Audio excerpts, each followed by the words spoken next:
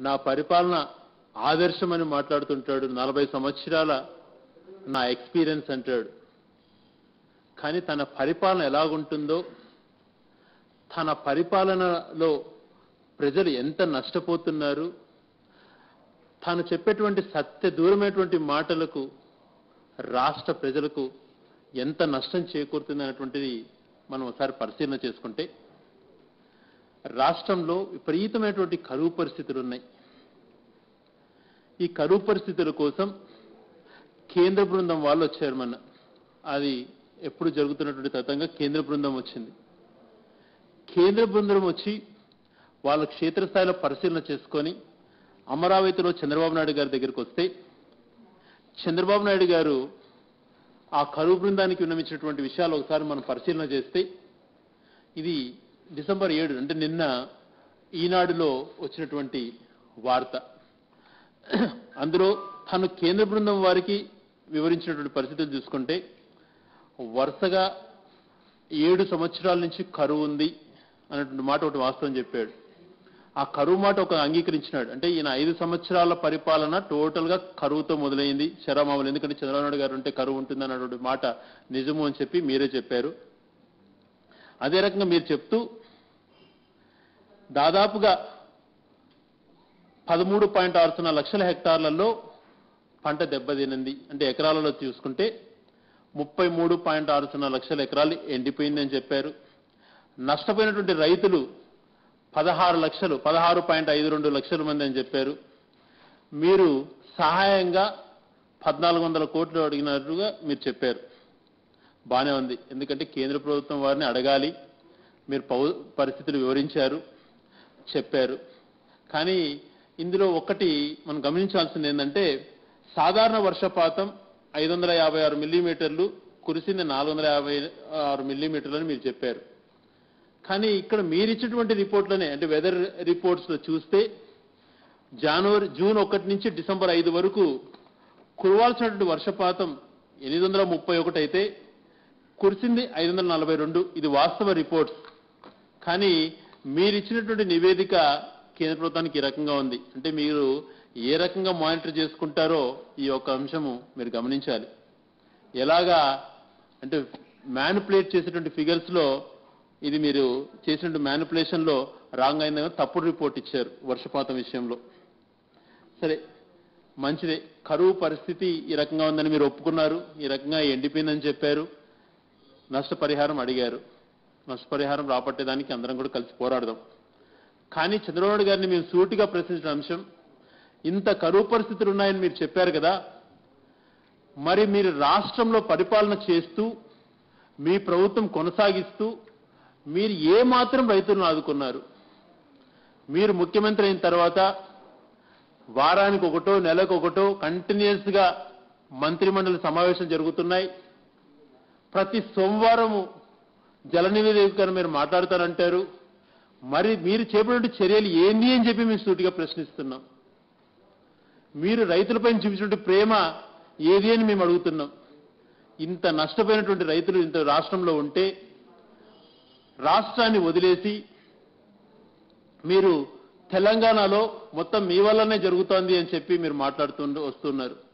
దాదాపుగా ఇక్కడ తెలంగాణలో మహాకూటమిలో ఖర్చు పెట్టినటువంటి ప్రతి రూపాయి మీదే అని చెప్పి ఇక్కడ ప్రజలు చర్చించుకుంటున్నారు.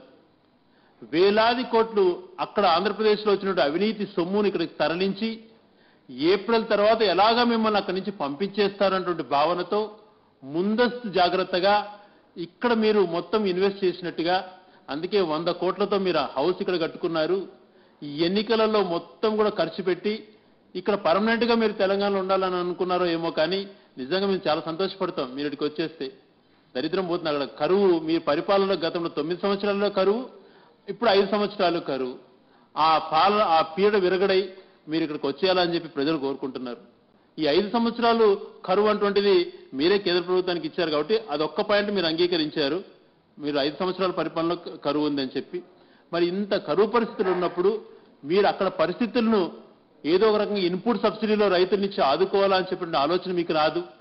ఇన్సూరెన్స్ ప్రీమియం కడుతున్నారు రైతులు వాళ్ళకి ఇన్సూరెన్స్ డబ్బులు ఇద్దామన్నటువంటి ఆలోచన మీకు రాదు. నాబార్డ్ నివేదికే చెప్పింది దేశంలో అత్యధిక అప్పులు ఉన్నటువంటి రైతులు ఆంధ్రప్రదేశ్లో ఉన్నారు. వ్యవసాయంలో అతని దయనీయమైన పరిస్థితులు ఆంధ్రప్రదేశ్లో ఉన్నాయని చెప్పి నాబార్డ్ నివేదిక చెప్పింది. అంటే ఈ రాష్ట్రంలో పరిపాలన గాలి కొదిలేసి కరువు ఉన్నటువంటి ప్రాంతాలను పట్టించుకోకపోగా అక్కడ ప్రజలను అన్యాయం చేస్తూ నువ్వు ఈ రకంగా దేశవ్యాప్తంగా పర్యటనలు చేస్తాడట రాజస్థాన్కు పోతావు బెంగాల్కు పోతావు వాళ్ళు పట్టించుకోకపోతే మళ్ళీ మళ్ళీ పోతానంటావు. అదే రకంగా మధ్యప్రదేశ్ అంటావు ఇంకొక రాష్ట్రం అంటావు. అక్కడంతా నువ్వు కూడగడితి దేశ చరిత్రలో నువ్వేదో సృష్టిస్తున్నట్టుగా నువ్వు క్రియేట్ చేసుకుంటున్నావు. ఆంధ్ర రాష్ట్రంలో పరిస్థితులు ఎందుకు నువ్వు గమనించట్లేదు అని చెప్పి ప్రశ్నిస్తున్నాం. మరి ఈ రకంగా కేంద్ర ప్రభుత్వానికి నివేదిక ఇచ్చినటువంటి చంద్రబాబు నాయుడు గారు అంటే ఇది ఏడో తేదీ పేపర్లో వచ్చింది. ఆరో తేదీ తను మరి ఏడో తేదీ పేపర్లో వచ్చిందంటే ఆరో తేదీ ఆ నివేదిక ఇచ్చింటాడు కేంద్ర ప్రభుత్వానికి. ఆయనే చెప్పినటువంటి ఫిగర్స్లో ముప్పై ఐదు లక్షల పైగా పంట ఎండిపోయింది పదిహేడు లక్షల మంది రైతులు అష్ట కష్టాలలో ఉన్నారు మొత్తం మాకు కరువు పరిస్థితులు ఐదు సంవత్సరాల నుంచి ఉన్నాయని చెప్పి. మరి ఆయన మాట్లాడినట్టు మాట ఆయన పేపర్లోనే మరి ఈనాడు పేపర్లోనే వచ్చింది. మరి ఇదే చంద్రబాబు నాయుడు గారు ముందు రోజు అంటే ఆరో తేదీ ప్రెస్ మీట్ పెట్టింటాడు ఈయన. ఆ ప్రెస్ మీట్లో ఏం ఏమని చెప్పాడంటువంటిది తను ఇచ్చినటువంటి నివేదికలు చూసుకుంటే వ్యవసాయ రంగం పదిహేడు పాయింట్ ఎనిమిది పర్సెంట్ గ్రోత్లో ఉన్నాం మనం. మొత్తం భారతదేశంలో మూడు పాయింట్ ఎనిమిది పర్సెంట్ ఉంటే ఆంధ్రప్రదేశ్లో మాత్రం పదిహేడు పర్సెంట్ పదిహేడు పాయింట్ ఒకటి ఎనిమిది పర్సెంట్ మనం గ్రోత్లో ఉన్నాం. పరిశ్రమలు తీసుకుంటే దేశవ్యాప్తంగా యావరేజ్ ఆరు పాయింట్ ఎనిమిది పర్సెంట్ ఉంటే పరిశ్రమలలో తొమ్మిది పాయింట్ ఆరు ఎనిమిది పర్సెంటేజ్ పరిశ్రమలలో గ్రోత్లో ఉన్నాం. సేవారంగంలో ఏడు పాయింట్ ఐదు పర్సెంట్ నేషనల్ యావరేజ్ అయితే స్టేట్లో nine point one seven growth చేసినాం అని చెప్పి మాట్లాడతారు. మరి ఒక పక్కన చూస్తే ముప్పై ఐదు లక్షల ఎకరాలు పైగా ఎండిపోయింది. గత ఐదు సంవత్సరాల నుంచి తీవ్ర కరువు పరిస్థితులు ఉన్నాయి. ఇంతమంది రైతులు నష్టపోయినారని చెప్పి ఇక్కడేమో చెప్పావు. మరి ఇక్కడ చూస్తే ఇంత గ్రోత్ రేట్ ఉంది అని చెప్పి నువ్వే చెప్తావు. ఇంత పచ్చగా ఉన్నాం సత్య శ్యామలంగా ఉన్నాం అన్నటువంటి నివేదికలో నువ్వు మాట్లాడతావు. మళ్ళీ ఒక మాట అంటావు where there is a will there is a way అని. చంద్రబాబు నాయుడు గారి విషయంలో ఇది వేరేగా మార్చుకోవాలి. ఈయనకి విల్లు ఉన్నటువంటిది వే ఉన్నటువంటిది ఎక్కడ అంటే ఏ రకంగా ఫిగర్స్ను మ్యానిపులేట్ చేయాలి ఏ రకంగా అభూత కల్పనలు సృష్టించాలి ఏ రకంగా ఉన్నది లేనట్టుగా చెప్పాలి అనేటువంటి దాంట్లో నీకు ఇది సరిపోతుంది. మరి నువ్వే చెప్పావు పదిహేడు point one eight percent growth rate ఆంధ్రప్రదేశ్లో వ్యవసాయంలో ఉందని చెప్పి. మరి ఆంధ్రప్రదేశ్లో చూసుకుంటే ఇక్కడ నివేదిక చూసుకుంటే అంటే ఏది డేటా చూసుకుంటే ప్రతి రాష్ట్రం ప్రతి జిల్లాలో కరువు పరిస్థితులు ఉన్నాయి. రాయలసీమలో ముఖ్యంగా చిత్తూరు జిల్లాలో మైనస్ ఫార్టీ టూ కడపలో మైనస్ సిక్స్టీ అనంతపురంలో మైనస్ ఫార్టీ సెవెన్ కర్నూలులో మైనస్ ఫిఫ్టీ నెల్లూరులో minus fifty three ప్రకాశంలో minus fifty seven fifty seven point six. ఇంత డెఫిసిట్ రెయిన్ఫాల్ ఉన్నాయి. మరి కురవాల్సిన వర్షపాతంలో చాలా భయంకరం ఒక శ్రీకాకుళం పశ్చిమ గోదావరి జిల్లాలు తప్పితే అన్ని జిల్లాలలో ఇంత మైనస్ డెఫిసిట్స్ ఉంటే నువ్వేమో growth rate seventeen point one eight percent అంటావు. ఈ గ్రోత్ రేట్ పైన గతంలో మేము గట్టిగా నిలదీస్తే ఎలాగయా నువ్వు చూసుకుంటే ఫుడ్ గ్రెయిన్స్లో తగ్గిపోయింది. లక్షల టన్నులలో రావాల్సిన దానికన్నా కూడా తగ్గి ఉంది. మరి వ్యవసాయం వేసిన దాంట్లో వేయాల్సిన దానికన్నా కూడా తక్కువ ఉంది. మరి రైతుల పరిస్థితి దుర్భీరంగా ఉందని చెప్పి ఎలాగ గ్రోత్ రేట్ చూపిస్తావు వ్యవసాయంలో అని అంటే ఏమంటాడంటే అనుబంధ రంగాలలో చేపలు రొయ్యలలో వచ్చింది అని అంటాం.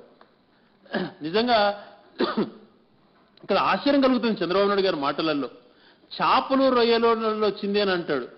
మరి ఇది ఈ దానికి ఒక చిన్న కథ మనం చెప్పుకోవాలి. చిన్నప్పటి నుంచి మన పెద్దలు ఒక కథ చెప్తుంటారు. చేప కథ. ఒక రాజుకి ఏడు మంది పిల్లలు చేప చేప ఎందుకు ఎండలేదు? అని చెప్తే ఆ చేప కారణాలు చెప్తూ ఉంటూ వచ్చింది అని చెప్తూ ఉంటారు పెద్దలంతా కూడా. చంద్రబాబు గారి విషయంలో ఈ చేపలు రొయ్యలలోనే వ్యవసాయము బ్రహ్మాండంగా ఉత్పత్తి చెంది దేశంలో మనం పదిహేడు point one percent growth rate సంపాదించామని చెప్పి చంద్రబాబు నాయుడు గారిని నిజంగా చేపను రొయ్యను ఓ ప్రశ్న అడగాలనుకుంటాను అయ్యా చేపలు రొయ్యలు ఎందుకు మీరు గతంలో సన్నగా ఉన్నారు ఇప్పుడు ఎందుకు మీరు సడన్గా లావ్ అయిపోయినారు అని అంటే ఆ చేప చెప్తుందంట. ఆ చేప రొయ్య ఏమని చెప్పాలంటే మాకు ఇంతకాలం చంద్రబాబు గారి పరిపాలన లేనందుకు దిగులుగా మేము సన్నపడిపోయినాం చంద్రబాబు గారి పరిపాలన వస్తానే మేము ఉన్నట్టుండి లావు అయిపోతామని చెప్పి ఆ ఛాయ చేప చెప్పినట్టుగా నిజంగా కరెక్ట్గా సూటి చక్కగా సరిపోతుంది ఆయన చెప్పేదానికి. ఆ చేపలు రొయ్యలు అలా చెప్పే పరిస్థితులు చెప్తున్నాయన్నటువంటి మాటలు కథలు మనం పిల్లలకు చెప్పుకోవాలి భవిష్యత్తులో. ఈ రకంగా చంద్రబాబు గారు ఎంతసేపు మభ్య మాటలు చెప్పుకుంటూ వస్తుంటాడు ఇలాంటివి చెప్పి ఎందుకు ఇంతగా నువ్వు ప్రజల్ని గొంతు కోస్తున్నావు అన్నటువంటిది అర్థం కాని అంశం. మరి రైతులను ఆదుకునేటువంటి చిత్తశుద్ధి నీకు లేకపోగా దాదాపుగా కృష్ణా పుష్కరాలకు మూడు వేల కోట్లని గోదావరి పుష్కరాలకు మూడు వేల కోట్లని నీ యొక్క హంగు ఆరబాటాలకు వేల కోట్లు తగలేసి తెలంగాణలో మొత్తం ఎలక్షన్ నువ్వు నడిపే పరిస్థితికి వచ్చినావు నీ ఫైనాన్స్తో అక్కడ నడిచే పరిస్థితి వచ్చింది అని అంటే నిజంగా ఎంత దోచుకున్నావు ఎంత అన్యాయం చేస్తున్నావు ఆంధ్ర ప్రజలకు అన్నటువంటిది ఇక్కడ నిజంగా మేము ప్రశ్నించదలుచుకున్నాం. మరి ఆంధ్రప్రదేశ్లో పరిస్థితులు ఈ రకంగా ఉంటే తెలంగాణలో అడ్వర్టైజ్మెంట్లో బ్రహ్మాండంగా మేము ఆంధ్రప్రదేశ్ చేశామని చెప్పి తెలంగాణలో పబ్లిసిటీ ఇస్తావు నువ్వు నువ్వు ఏం చేశావు తెలంగాణ కన్నట్టు ఇక్కడ చెప్పేది కాదు. ఆంధ్రలో ఏం చేస్తున్నావు? ఆంధ్ర ప్రజలకు చెప్పవయ్యా నువ్వు. ఇక్కడ కోట్లాది రూపాయల అడ్వర్టైజ్మెంట్స్ పెట్టేసి డైలీ టీవీలలో పేపర్లలో నీ కోట్లాది అవినీతి సొమ్మును ప్రింట్ చేసి ఆంధ్రప్రదేశ్లో బ్రహ్మాండమైనటువంటి పురోగతి సాధించినాం అన్ని నెరవేర్చామని చెప్తావు. మేనిఫెస్టో కనిపించకుండా చేస్తావు ఆన్లైన్లో? నువ్వు ఇచ్చినటువంటి హామీలను ఏమీ చేయలేదు అక్కడ.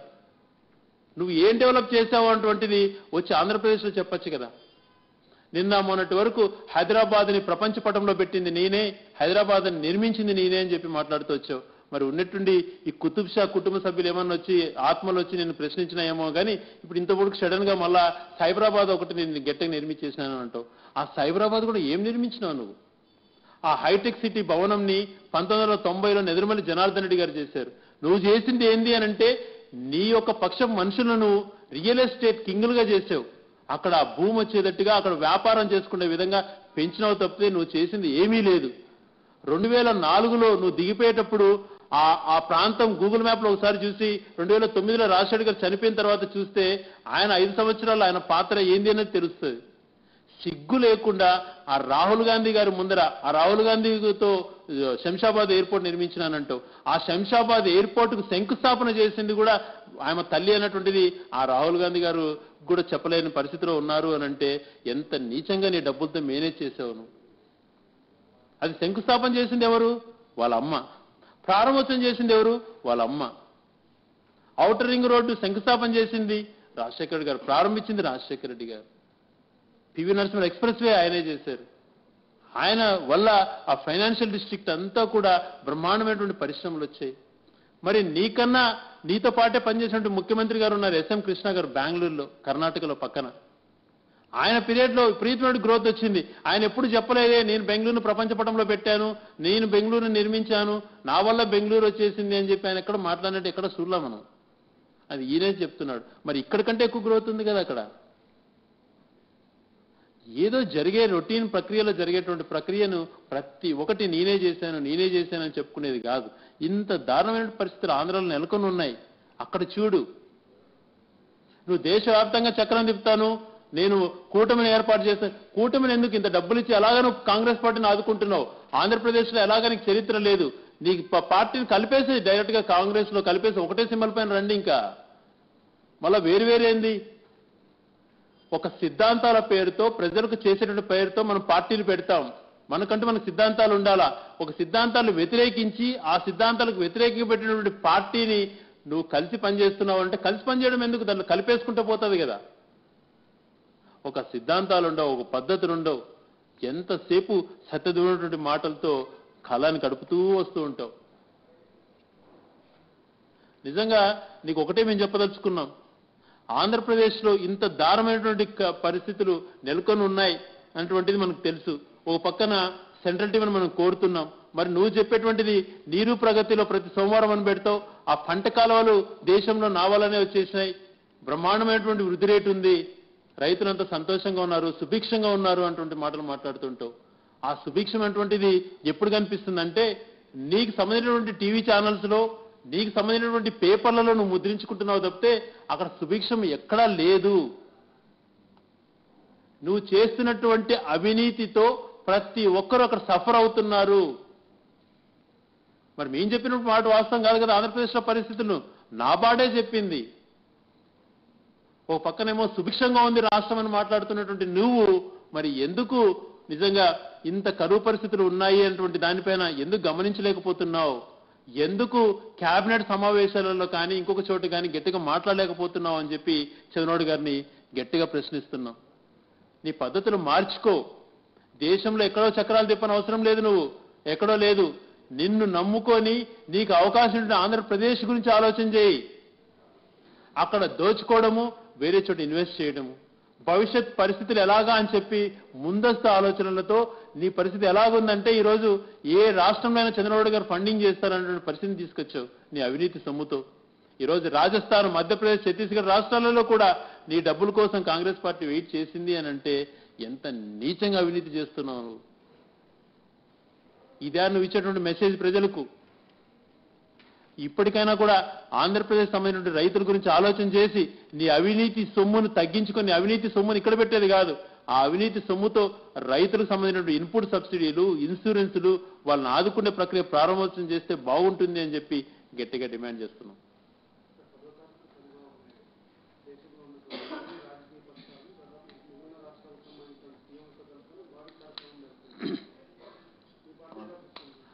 అదే ఒకటే అంటున్నాం పదకొండో తేదీ పార్లమెంట్ ప్రారంభమవుతుంది. రాష్ట్రానికి సంబంధించిన ప్రత్యేక హోదాని అన్యాయంగా తాకట్టు పెట్టావు నాలుగున్నర సంవత్సరం ఒక ప్రభుత్వంతో ఒక ప్రభుత్వంతో పనిచేసి కలిసికట్టుగా నీకు మంత్రులు సంబంధించినటువంటి ఇద్దరు కేంద్ర మంత్రులను కేబినెట్లో పెట్టి కూడా నిలదీయలేకపోయినటువంటి నీవు ఈ రోజు నీకు సొమ్ము విచ్చలవిడిగా ఉంది.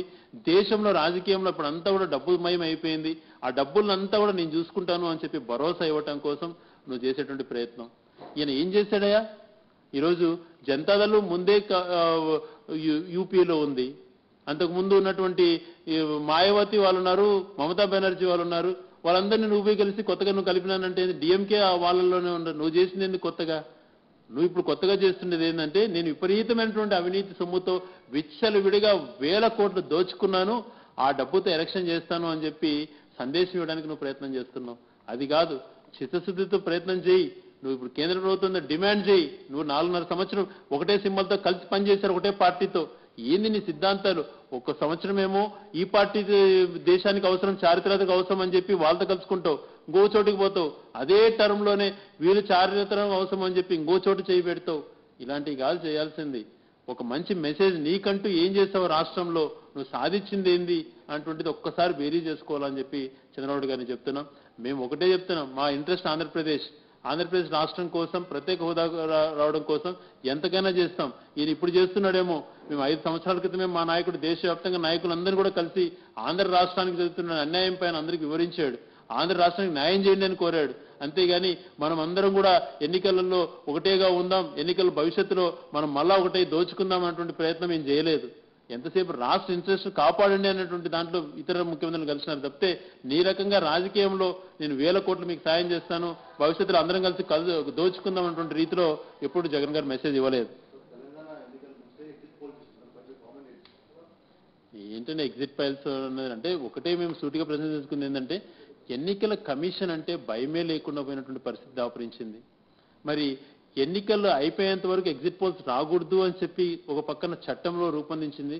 దాన్నే వైలేట్ చేస్తున్నారు. మరి దగ్గరపాటి రాజగోపాల్ గారు నేనేం చెప్పను ఏడో తేదీ సాయంత్రం మాట్లాడతానని చెప్పి నాలుగో తేదీ నుంచే మాట్లాడడం మొదలుపెట్టాడు. ఇది సరైనటువంటిది కాదండి. మనమే ఒక ప్రజాప్రతినిధులుగా ఉండి నేను ఏ పార్టీకి సంబంధించిన వ్యక్తిని కాను అని అంటూనే మరి నేను కేటీఆర్ గారికి చెప్పాను తెలుగుదేశంతో కలిసి పనిచే పోటీ చేయండి బాగుంటుందని చెప్పి నేను నేనే ఎస్ఎంఎస్ చేశానని చెప్పి చూపించే పరిస్థితికి వచ్చారు అని అంటే రాజకీయాల్ని ఏ రకంగా దిగజారుస్తున్నారో అర్థం కాని పరిస్థితి. మరి ఏ పార్టీతో సంబంధం లేదని చెప్పేటువంటి వ్యక్తి మరి ఏ రకంగా చెప్తాడు? నేను ఎస్ఎంఎస్సీలో ఇచ్చాను కేటీఆర్ అని తెలుగుదేశంతో కలిసి పోటీ చేయండి అని చెప్పి ఇచ్చానని చెప్పి మాటలు మాట్లాడారు అని అంటే రాజకీయాలలో ఎంత దా దారుణమైన పరిస్థితులు దాపరించినాయో. ఒకసారి నిజంగా ఈ తెలంగాణ ఎన్నికలలో చాలా ఆశ్చర్యకరమైన అంశాలు. హరికృష్ణ చనిపోయినటువంటి రోజున కేటీఆర్ గారితో మన ఇద్దరం కలిసి పోటీ చేద్దామని నేను కోరాను. కేటీఆర్ గారిని ఆయన తిరస్కరించారు అంటాడు చంద్రబాబు నాయుడు గారు. అంటే అప్పుడు చంద్రబాబు నాయుడు గారి ఉద్దేశంలో కేసీఆర్ గారు బాగా చేసినట్లే కదా. కలిసి పోటీ చేద్దాం అనుకున్నప్పుడు. మరి వాళ్ళు వద్దంటేనే కేసీఆర్ విఫలం అయిపోయాడు ఆయన ఫామ్ హౌస్కి చెందినాడు. ఏమి చేయలేదు అభివృద్ధి అని మాట్లాడతాడు అని అంటే ఎటువంటి డైరెక్షన్స్ అయినా ఎటైనా ఫీల్ చేసేటువంటి పరిస్థితులు దారుణమైనటువంటి పరిస్థితులు మేనేజ్మెంట్ స్కిల్స్ ఇలాగా ఉపయోగించేది. ఈ మేనేజ్మెంట్ స్కిల్స్ ఏదో రాష్ట్రంకి సంబంధించిన అంశాలలో దృష్టి పెడితే బాగుంటుంది కదా అని చెప్పి మేము కోరుతున్నాం